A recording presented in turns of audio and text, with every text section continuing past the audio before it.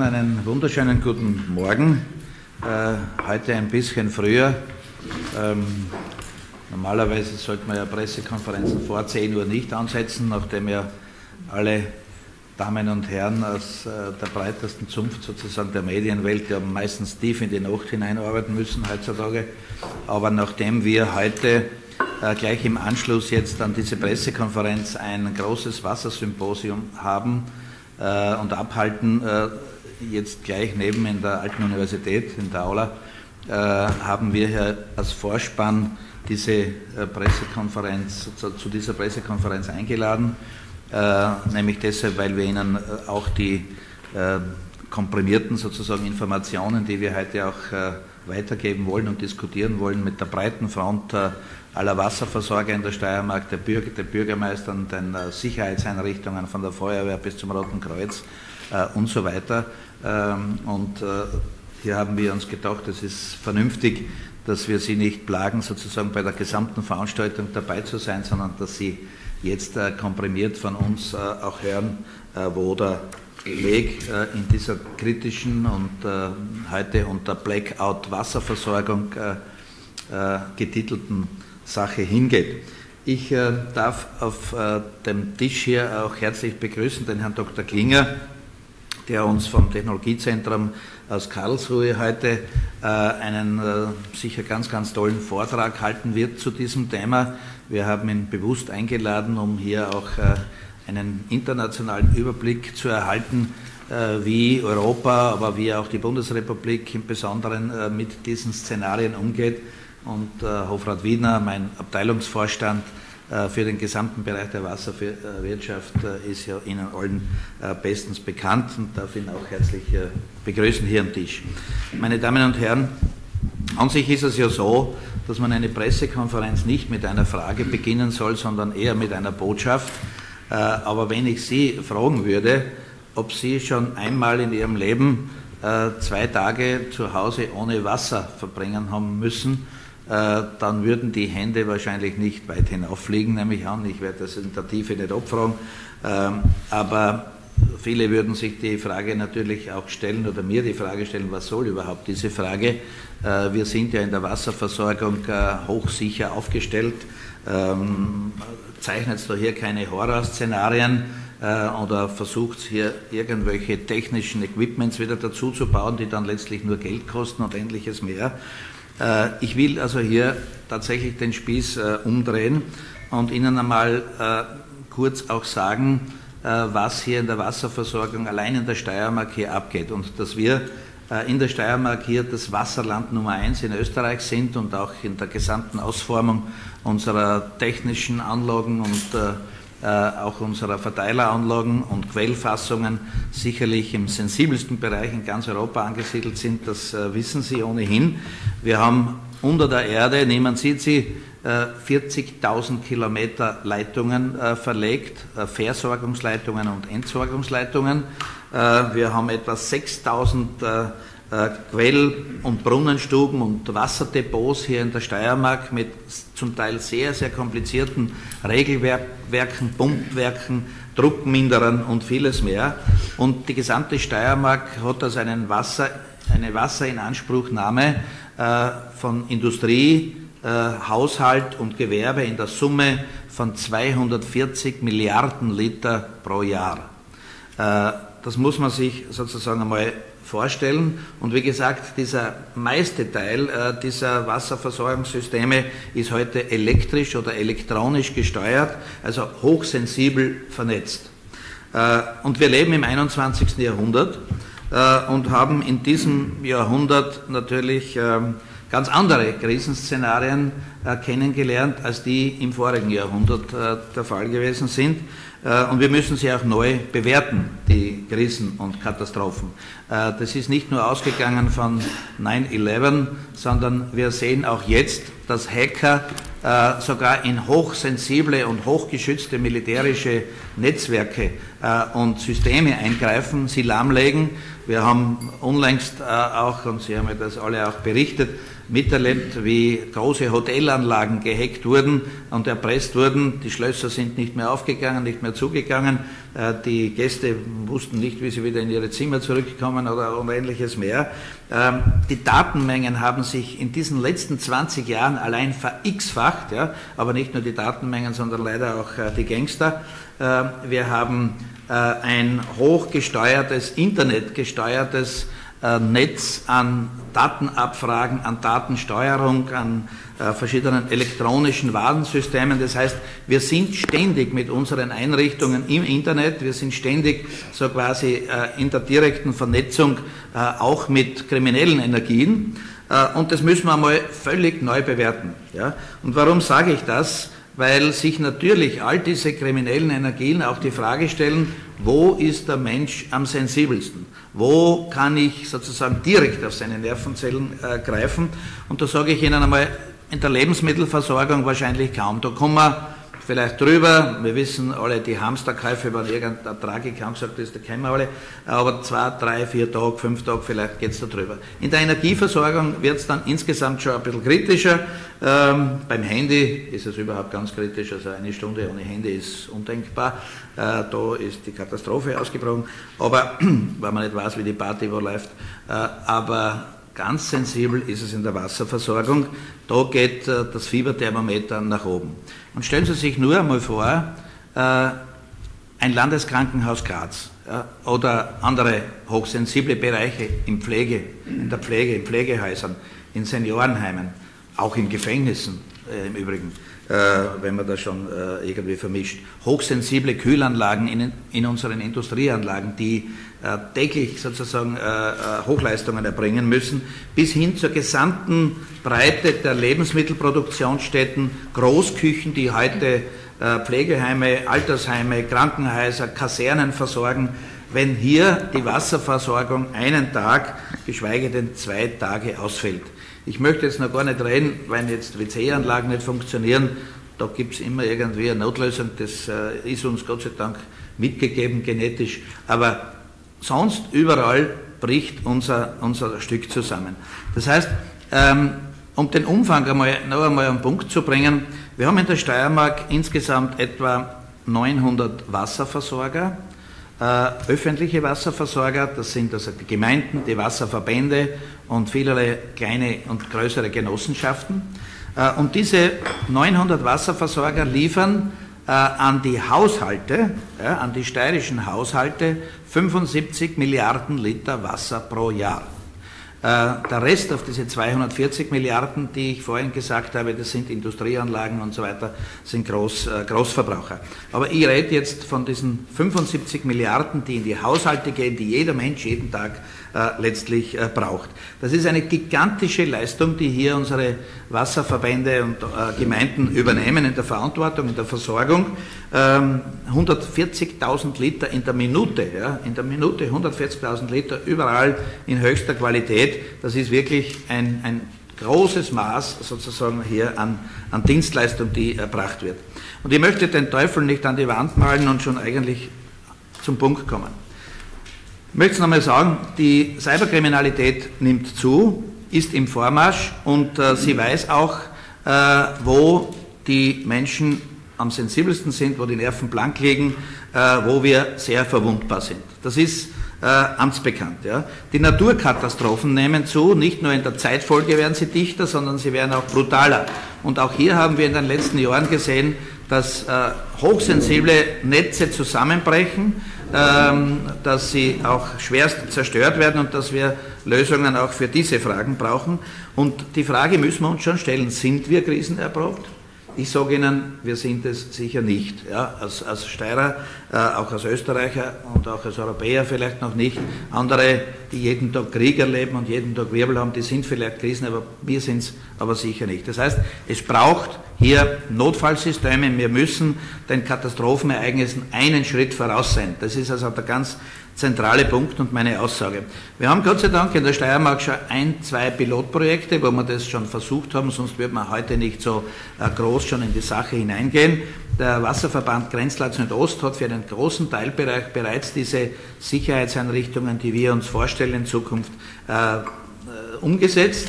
Äh, und jetzt geht es natürlich ins Eingemachte für die gesamte steirische Wasserwirtschaft. Was wollen wir hier tun? Wir müssen zuerst einmal die Bevölkerung ähm, aufklären, wir müssen ihr bewusst machen, wohin der Weg geht, welche ähm, äh, Problembereiche hier auf uns zukommen, wenn es um die Sicherheit geht. Wir müssen in der zweiten Phase eine sehr, sehr exakte Risikoanalyse vornehmen. Wo sind die sensibelsten Teile, wo weniger? Wir brauchen ein sehr, sehr kluges Sicherheitskonzept.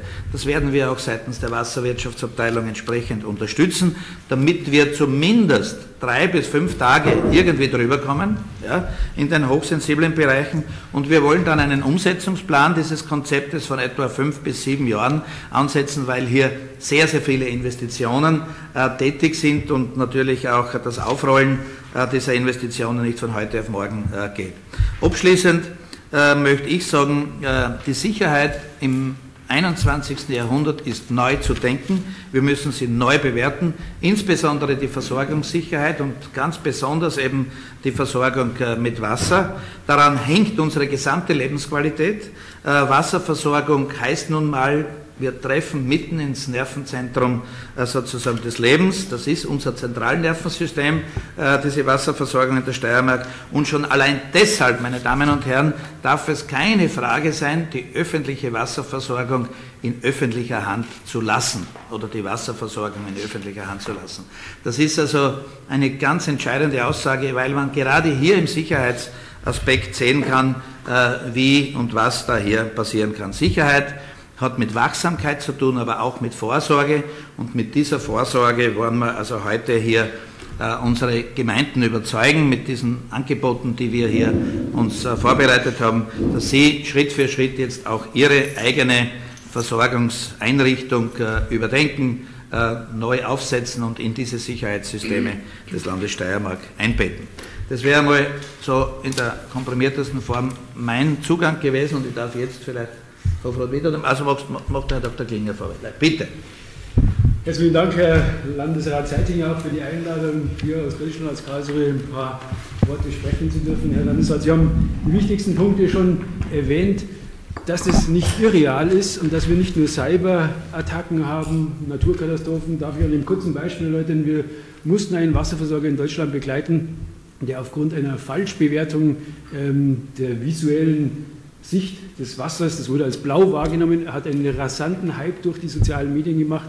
Es war eine Universitätsstadt wie hier in Graz, Circa 60.000 Studenten, die konnten nicht mehr in die Mensa gehen, Operationen wurden äh, verschoben, die ganze Tourismusbranche ist da niedergelegen. Und es war wirklich ein halber Tag Krisenstimmung in dieser Stadt in Deutschland, von der man eigentlich weiß, sie ist bekannt, man hat dort sein Herz verloren. Und äh, sie ist auch von der Wasserversorgung sehr gut aufgestellt. Also es zeigt uns, dass wir krisenfest sein müssen, dass wir die Dinge im Vorfeld durchspielen müssen, auch Sachen, wo man sagen würde, noch vor zehn Jahren, das gibt es eigentlich gar nicht, der Herr Landesrat, Sie haben es angesprochen, das Handy, wenn es nicht mehr klingelt oder was das anrichten kann, letztendlich, das zeigt dieses Beispiel hervorragend.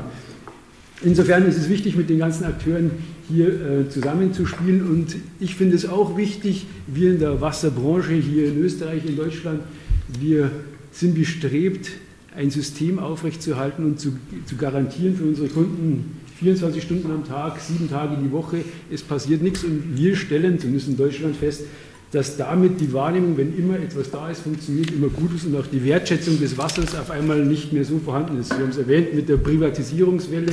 Bei uns ist die Preisdiskussion eine Riesenwelle.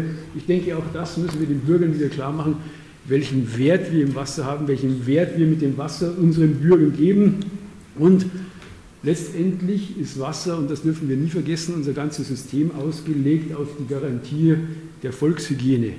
Das wird immer vergessen in Diskussionen, man spricht über Preis, man spricht über dies, Produktion, aber zum Schluss haben wir die zentrale Wasserversorgung letztendlich erschaffen, um die Volkshygiene äh, zu garantieren für unsere Bürgerinnen und Bürger. Insofern kann ich nur gratulieren, im Zuge des Weltwassertages eine derartige Veranstaltung aufzusetzen, sich um diese interkommunalen Zusammenhänge, die regionalen Zusammenhänge hier in der Steiermark, in Graz zu kümmern und das auch von Landesebene zu betreuen. Danke, Doktor. Und wir bitten um Ihre gute Unterstützung und um Ihr Know-how. So, der Herr Dr. Klinger hat mir vorher diese Geschichte mit der Meldung Wasser ist blau, löst Panik aus oder Krisenstimmung schon informiert, weil ich nicht weiß, ob das so durchgekommen ist, dass eigentlich die Meldung Wasser ist blau eine Krise auslöst, obwohl alle wissen, dass Wasser eigentlich eh blau ist. Also das war im Prinzip die Frage, wie sensibel ähm, Medien oder Social Media Berichte sein können. Im Prinzip hat eigentlich eine korrekte Mitteilung eine Krise ausgelöst, glaube ich, war so die, die, die Pointe und zeigt die Sensibilität auf diesem Bereich, wenn, wenn Meldungen äh, Krisen auslösen können. Ich möchte nur vielleicht ganz kurz äh, den einen Punkt aufgreifen, weil unsere Zeitung hat ja schon erwähnt, äh, das Wasserversorgungssystem bestehend aus einer Ressource, Brunnenquelle mit einem umfangreichen Leitungsnetz, äh, ist bei uns in der Steiermark flächendeckend fast zur Verfügung. Es ist im Prinzip relativ überschaubar und klingt einfach, aber inzwischen so, dass es alltäglich funktioniert, ähm, krisenfest funktioniert, wirtschaftlich optimiert ist, ähm, bürgernah funktioniert, ist es eigentlich ein komplexes technisches System. Und dementsprechend gibt es natürlich auch Möglichkeiten, dass hier Störungen auftreten können. Ähm, auf der einen Seite bei der Ressource, wo es darum geht, auch die Qualität zu schützen als wesentlichen Punkt, aber auch die Menge ähm, entsprechend zu erhalten, aber vor allem auch im technischen Bereich. Das beginnt natürlich bei der Erhaltung der Infrastruktur, Erneuerung, Instandsetzung bis hin zur technischen Erneuerung, aber auch quasi im Betrieb zu achten, äh, dass Störfälle vorweg ausgeschlossen werden können, beziehungsweise dass man Zugriffe von, von außen verhindern kann. Äh, wir haben ähm, nach unserem Wasserversorgungsplan, den wir gemeinsam mit den öffentlichen Wasserversorgern entwickelt haben, eine Umfrage machen lassen, wie sind die öffentlichen Wasserversorgungen bei der Störfallplanung.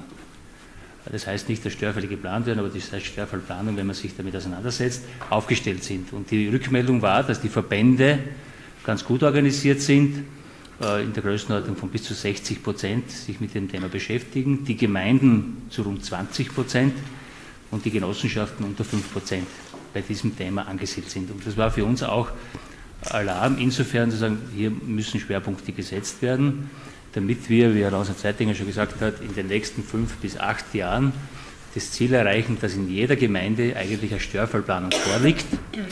Und wir haben dazu eine Leitlinie entwickelt, wo der einen Seite sehr umfassend aufgelistet ist, welche Möglichkeiten gibt es, dass eine Wasserversorgungsanlage gestört werden kann durch unterschiedliche Eingriffe.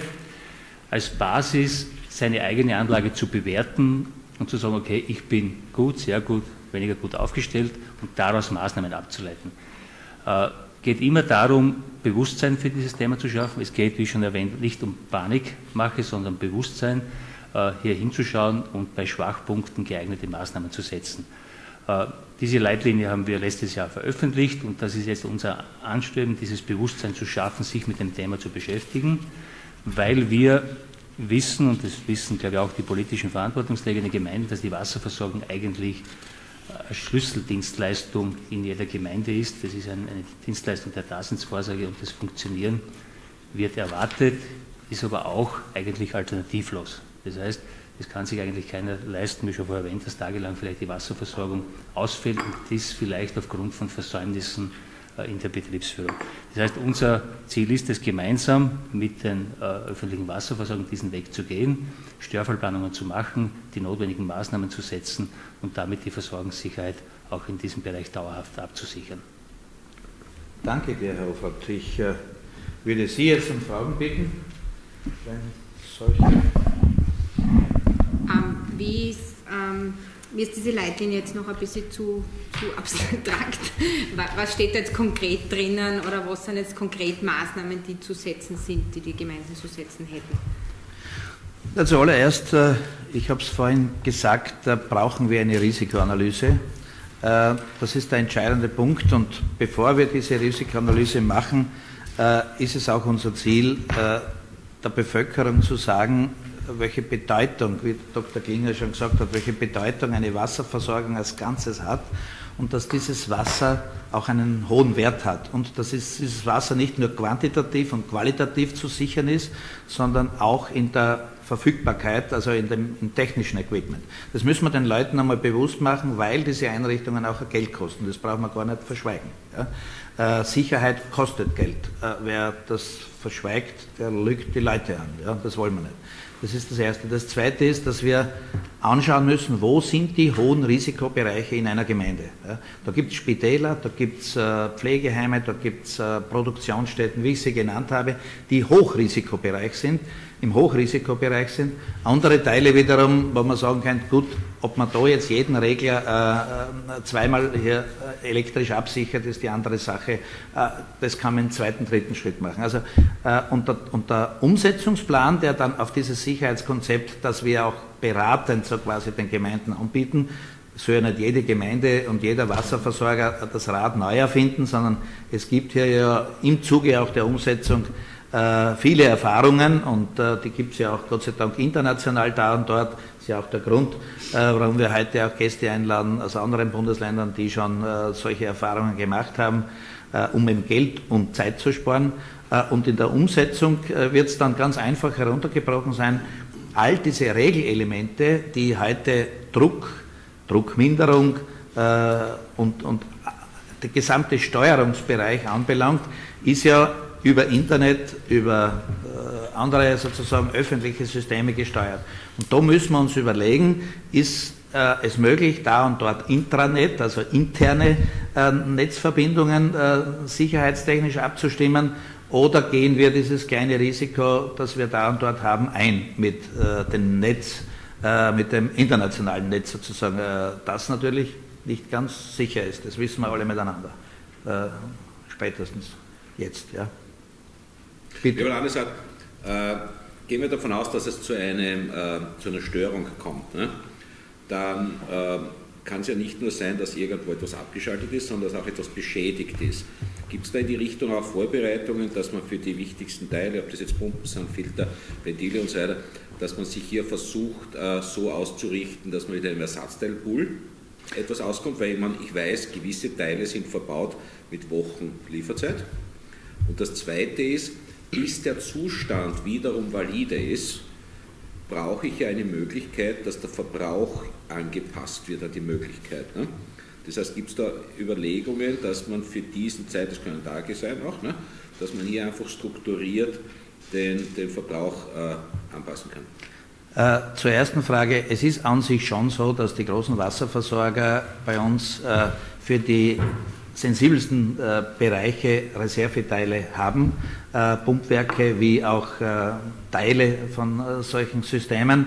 Äh, aber alles, was da hier unter der Erde oder in Schächten oder in, in, Versorgungsanlagen eingebaut ist, kann man nicht zweimal haben. Das muss man ganz offen sagen.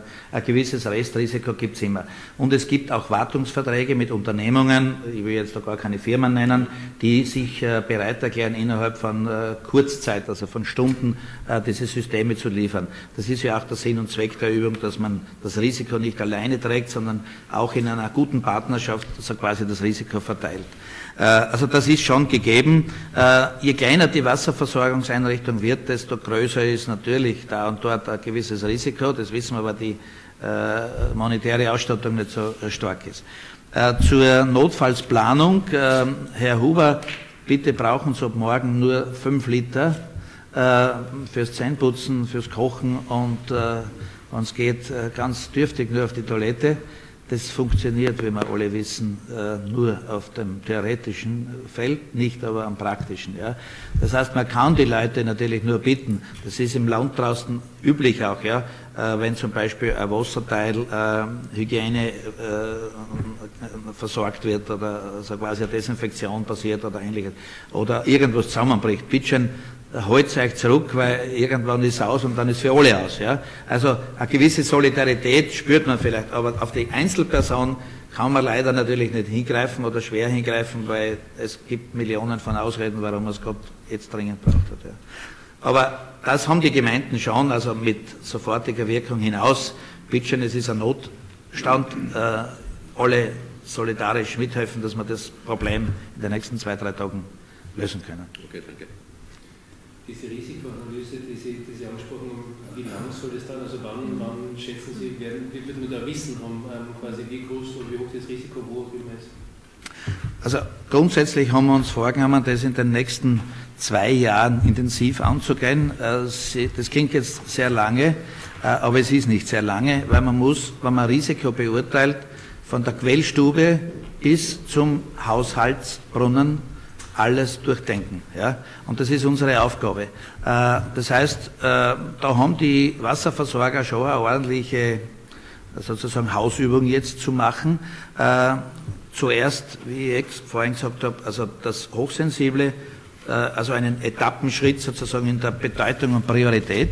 Äh, aber das Wesentliche wollen wir in den nächsten zwei Jahren wissen, wo es lang geht, äh, weil die Entscheidungen dann ja auch in Bezug auf Investitionen und auf die Umsetzung auch zu treffen sind. Und das braucht halt dann eh noch ein Stück Zeit. Also so haben wir es uns einmal grob vorgenommen. Und weil Sie die Gemeinden schon angesprochen haben, gibt es da schon Rückmeldungen von den Gemeinden, die sagen, wow, das, das ist so teuer, das wollen wir nicht. Also warum quasi wollen Sie die Gemeinden überzeugen? Gibt es da schon ein, ein Statement? Na schauen Sie, es ist ein altes Gesetz. Ja. Äh, wann verliert man heute eine Wahl als Bürgermeister? Ja? Wenn du die Wassergebühren erhöhst oder wenn du bei der Jagd irgendwas anstellst. Ja? Also dann hast du mit Sicherheit die Wahl verloren. Sonst kannst du fast einen großen Blödsinn auch machen. Ja. Ich war einmal Bürgermeister und ich, ich könnte beides bestätigen. Gott sei Dank war ich nie in der Lage, eine Wahl zu verlieren, weil meine erste Aufgabe als Bürgermeister war damals eine Wasserleitung zu bauen. Und die habe ich gebaut deshalb, weil ein Gastwirt äh, von uns ausgelöst in der Gemeinde sich das Leben genommen hat in einem jahrelangen Wasserstreit äh, der Erfolg, das war immer zu wenig da war. Und ich habe die Situation damals sehr ernst genommen. Der Roswald Wedner war schon als, als Kleinassistent damals mehr zur Hilfe, war er gerade, da war ich noch nicht so weit, dass ich da heute hier sitze. Aber als Bürgermeister habe ich gesagt, ich muss das Problem jetzt lösen. Ja? Das, sonst habe ich einen Gemeindekrieg. Äh, wenn das Wasser zu wenig wird und da jeder über den Duyenzaun drüber schaut Tust du jetzt schon wieder Auto waschen? Jetzt haben wir eh schon keinen Druck mehr und schon kein Wasser mehr. Und so ergibt sich in der Gemeinde der Unfrieden. Das heißt, es ist schon wichtig, äh, dass wir die Leute und die Bürgermeister überzeugen, ihr müsst euch eure Leute überzeugen, als allererst. Ja. Das ist der wichtigste Punkt heute einmal, dass wir das, was wir jetzt tun wollen, als einer der wichtigsten Sicherheitseinrichtungen unseres Landes bezeichnen müssen. Ich habe vorhin gesagt, das ist unser ne-, Zentralnervensystem äh, der Lebensqualität, ja, das, die Wasserversorgung. Nur wollen wir es nicht wahrhaben, weil niemand von uns da, wer da drinnen sitzt, in Wirklichkeit noch eine große Not auf dem Sektor gehabt hat. Ja.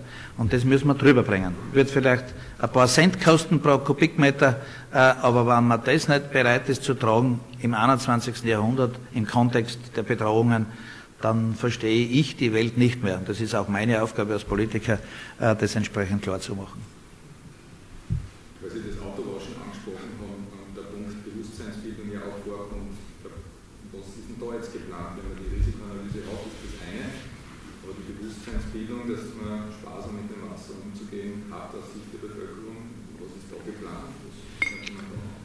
Also grundsätzlich äh, ist es ja immer ein bisschen schwierig zu kommunizieren, in dem wasserreichsten Bundesland sparsam mit dem Wasser umzugehen.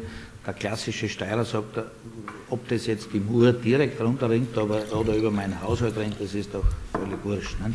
Es ist nicht völlig wurscht, weil es äh, natürlich kostet. Energie kostet, äh, Umwelt äh, schädlich auch ist. Ja weil ich halt auch Anlagen betreiben muss, Kläranlagen, elektrischen Strom brauche etc. Also das Wassersparen hat schon einen Sinn. Das versuchen wir äh, über den Mehrwert, den ein Mensch hat, äh, zu erklären. Ja?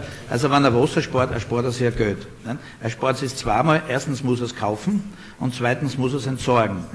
Ja? Äh, und wenn er heute also Düsen hat, zum Beispiel bei der Dusche, bei seinen äh, Wasserhahnausgängen und so weiter, die äh, den Wasserverbrauch um Vielfaches minimieren, äh, dann ist es für ihn ein Vorteil.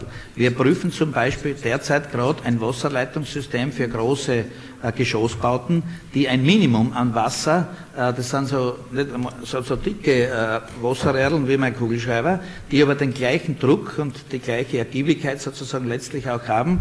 Äh, neue Systeme, die auch allen Hygienevorschriften sozusagen äh, entsprechen und, und probieren das gerade in zwei Wohnblöcken in Graz äh, wie schaut das am Ende des Tages aus. Und wenn man solche Erfahrungen hat, kann man aus einem Erfahrungsschatz und nicht aus einer Theorie heraus sozusagen die Leute überzeugen. Das ist mein Zugang. und äh, da tun wir sehr viel. Ja. Wassersparen heißt, heißt einfach auch in unserem reichen Land, äh, das macht Sinn. Ja, das ist spart dir Geld, spart uns für die Umwelt viele Sorgen, äh, aber letztlich wissen wir alle, wir brauchen 140 Liter am Tag pro Person. Wenig ist das nicht und das meiste läuft halt dort ab, wo ich den Knopf drauf drücke. Ne? Äh, also für Essen, Trinken und für die kleine Pflege braucht man gar nicht so viel, aber das WC ist natürlich der größte Räuber und daher versuchen wir da und dort auch Lösungen zu finden, die sind nicht ganz einfach, Nutzwasserleitungen und Trinkwasserleitungen zu trennen. Äh, wir haben auch da schon mehrere Versuche gemacht, ist eine harte Frage der Hygiene, ja? Äh, wo vermischt es, was passiert. Also der Hausverstand ist auch da hier wichtig, sage ich äh, abschließend. Ja wäre die Bewusstseinsbildung und das Wassersparen leichter, wenn das Wasser vielleicht teurer wäre? Schauen Sie, äh, bei uns kostet im Schnitt 1000 Liter Wasser 1,40 Euro, glaube ich. 60 schon, ja Gott, inklusive ja, Mehrwertsteuer. 1,60 Euro. Bei mir zu Hause kostet es noch 65 Cent, 1000 Liter Wasser. Ja. Ich war jetzt vor kurzem in Tokio, äh, da ist eine Wasserflasche gestanden in meinem Hotel äh, die hat umgerechnet 5 Euro gekostet. Ja. Ich war aber sehr dankbar und habe das sofort gezahlt, weil ich einen echten Durst gehabt, nach, nachdem ich angereist bin, das brauche ich jetzt. Ja. Habe ich nicht nachgefragt. Also hochrechnen darf man sowas nicht dann. Ja. Also ich glaube, das Wasser hat bei uns einen sehr, sehr günstigen Preis. Einen sehr, sehr günstigen Preis. Legt man die Qualität zugrunde, legt man die tägliche hundertprozentige Verfügbarkeit zugrunde äh, und die Dienstleistung, die dahinter gebraucht wird. Also das ist aus meiner Sicht eine Meisterleistung der Wasserverbände, mit einem solchen Preis eine solche Lebensdienstleistung sozusagen zu erbringen. Äh, ich kann das anders gar nicht ausdrücken. Ja. Äh, in anderen Landen kostet das ein Mehrfaches. Ja. Aber kannst du in diesem Bereich bleiben, wenn man dann ja auch jetzt in die Sicherheit kann es nicht bleiben. Eine, eine Absicherung äh, aller dieser sensiblen Pumpenteile, wie wir sie da hier unter anderem auch haben, den direkten Zugang, eine neue gedachte Intranet-Vernetzung, um die Datenabfragen und die Datenwartungen sozusagen vornehmen zu können, kostet Geld. Ja? Und ich kann, und das ist meine Vorgabe an die Gemeinden, das gilt im Übrigen auch für die Müllwirtschaft und für den Kanal, es muss sich mit einer schwarzen Null rechnen. Ja? Und zwar auch die Refinanzierungskosten sind hier hineinzunehmen. Da kann nicht der Bürgermeister sagen, jetzt ist meine Wasserleitung hin, ich habe nichts zurückgelegt, Herr Landesrat, ich brauche Geld. Das ist eine Daseinsvorsorge, die das Volk zahlen muss. Ja? Wird nicht überall äh, alles möglich sein, aber im Grunde genommen muss ich die Rechnung darstellen lassen. Und auch solche Sicherheitseinrichtungen kosten Geld. Wir werden dann sehen, wie viel das ist, ob das 10 Cent sind, äh, die mehr sind, aber noch einmal, wenn das pro 1000 Liter ja, eine Frage sein darf, ob das um 10 Cent mehr kostet oder nicht, dann äh, muss man die Welt wirklich vielleicht noch einmal erklären. Ja. Gut, wenn das erschöpfend war, bedanke ich mich sehr, sehr herzlich für Ihr Kommen. Das war es für heute. Herzlichen Dank fürs Zusehen und wenn euch das Video gefallen hat, bitte teilt es, hinterlasst einen Like oder abonniert unseren Kanal. Danke.